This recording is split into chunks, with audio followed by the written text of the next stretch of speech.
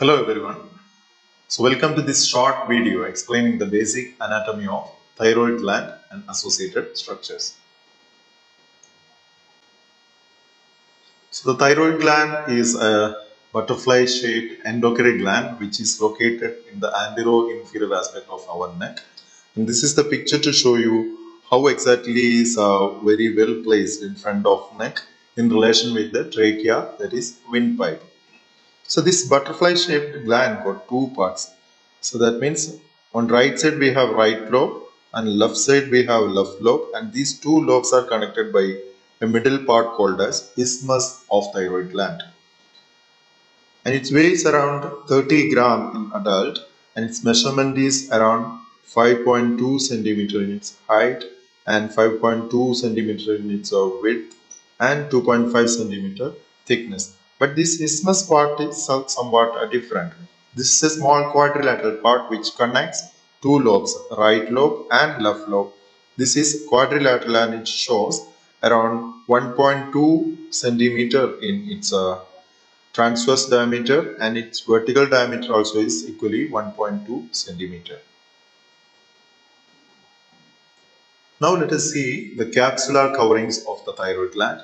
We have two coverings Number one, it's true capsule.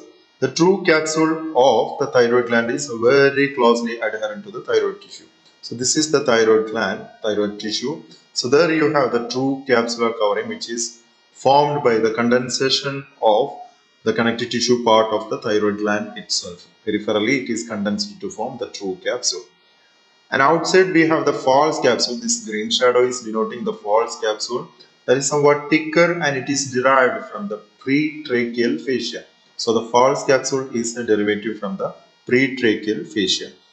And this false capsule is that is forming the suspensory ligament of the berry. So in this posterior view, I would like to show you this is your trachea or the windpipe. Just above that, you have the laryngeal cavity. Here, if you closely observe, you have a cartilage over here. That is your cricoid cartilage above the thyroid cartilage. So you have the right lobe of thyroid gland and left lobe of thyroid gland. The false capsule which is this brown shadow, this false capsule is getting connected to the cricoid cartilage by a ligament called as suspensory ligament or you can call as ligament of Berry. So this connection between the false capsule of the thyroid gland and the cricoid cartilage, this is the reason for the movement of thyroid gland uh, up and down during swallowing. Now let us uh, discuss in detail about various parts of thyroid gland. First we have to explain about two lobes. We have a right lateral lobe and a left lateral lobe respectively. And these two lobes are connected by an isthmus. Occasionally from the upper border of isthmus you may get another lobe here upward projection. This is called as pyramidal lobe but this is not always present. So each lobe if you consider that is roughly a pyramidal shaped one that got a base which is below. This is the base portion of the thyroid gland, thyroid lobe. And the apex of the thyroid lobe is located upwards or above. So this is the apex of left lobe of thyroid gland. And there are three surfaces. If you consider, you can say uh, the la uh, lateral surface or the anterior surface. Again, you have the medial surface. So the lateral surface, medial surface will be directed inwards. And you have another surface behind that is posterolateral surface and you have two borders. One is anterior border. Here you can see this is the area of anterior border of lateral lobe. And this is the area of posterior lobe of lateral lobe behind. But the isthmus got two parts. Upper border lower border. These are the two borders of isthmus. And you have two surfaces for the isthmus. Anterior surface which is facing forwards. And behind that you have posterior surface which is in relation with the trachea that is behind.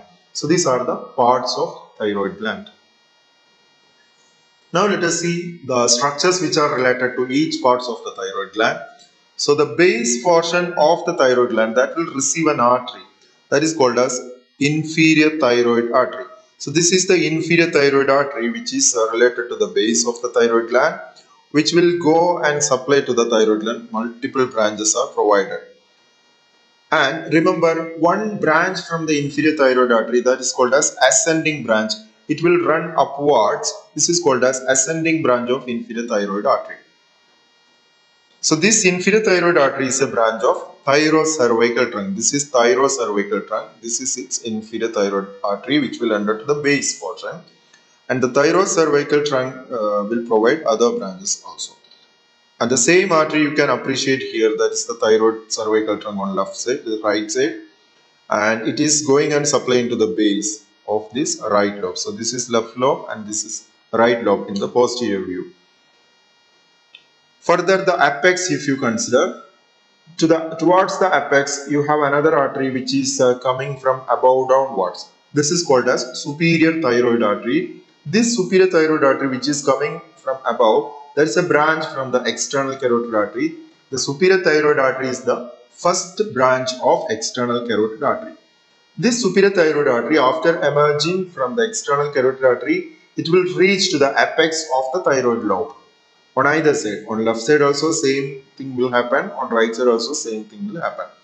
So this superior thyroid artery after reaching to the apex, it will divide into an anterior branch that will run along the anterior border and it will reach the superior border of the isthmus. There it will anastomose uh, with the fellow artery of opposite side. That is the anterior branch of superior thyroid artery of left side also. But remember the posterior branch of superior thyroid artery this will run along the posterior border and it will anastomose with the ascending branch of inferior thyroid artery along the posterior border. Already we have talked about the ascending branch of inferior thyroid artery. This will anastomose with the posterior branch of superior thyroid artery along the posterior border. Okay. So next we have to talk about the surfaces relations. So these are the relations of uh, uh, base and apex. Okay. Base, inferior thyroid artery, apex, superior thyroid artery respectively. So next we have to talk about the relations of various surfaces. So first if you consider the lateral surface of the thyroid gland, definitely this lateral surface is related to certain muscles. These are the infrahyoid muscles. So the infrahyoid muscles like sternohyoid, sternothyroid and again you have the omohyoid muscles. So these are the strap muscles which are located in front of the neck just below the hyoid bone. This is the hyoid bone of the neck and here this is the shadow of thyroid gland. Almost this will be the area of the lobe of thyroid gland and this is the isthmus portion. So the muscles related to the lateral aspect, lateral surface of the lobe is the infrahyoid muscles like sternohyoid, and sternothyroid and you have here another muscle called as omohyoid muscles. That is the relations of lateral surface. Again outer to this you may get the fascia and the skin of the neck. Now the medial surface. Medial surface of the thyroid gland is related to two tubes, two nerves, two muscles and two cartilages respectively. Everything you can remember the number 2 the digit 2 so the two tubes which are related to the medial surface of the thyroid gland one is your trachea or the windpipe is very clear. This is the outline of your thyroid gland. Just behind or in the medial aspect you have the tube called as the trachea or the windpipe further behind the trachea you can expect another tube called as esophagus that is your food pipe so the two tubes are trachea and esophagus your food pipe and windpipe respectively. Two nerves are number one you have uh, external laryngeal nerve and you have the recurrent laryngeal nerve. This is the recurrent laryngeal nerve. There is a branch coming from the uh, superior laryngeal nerve. There is a branch in turn from the vagus nerve.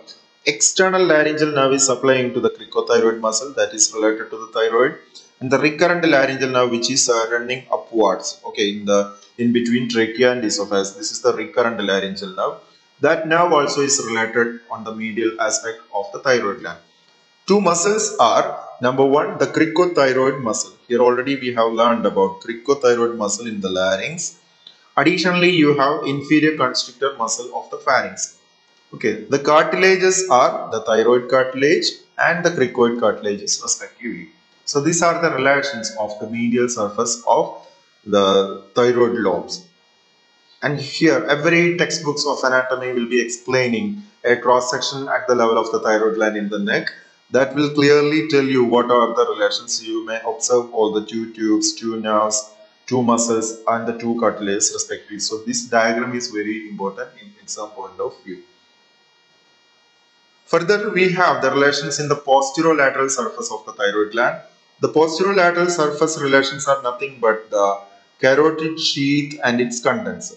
So the carotid sheath contains the structures, three structures like internal jugular vein, the common carotid artery and the vagus nerve respectively. These are the three structures uh, which are located within the carotid sheath. So on either side, on the right lateral lobe of the thyroid gland and on left lateral lobe of the thyroid gland, both sides you can expect the relation in the posterolateral surface that is the carotid sheath and its contents.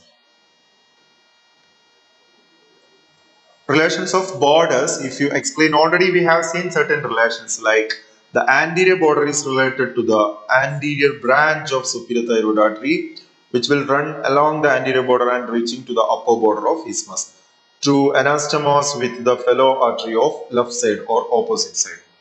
But posterior border relation you have to be very careful. That means along the posterior border you have the ascending branch of inferior thyroid artery and posterior branch of superior thyroid artery plus you have the parathyroid glands. Parathyroid glands are located or related to the posterior border of thyroid gland.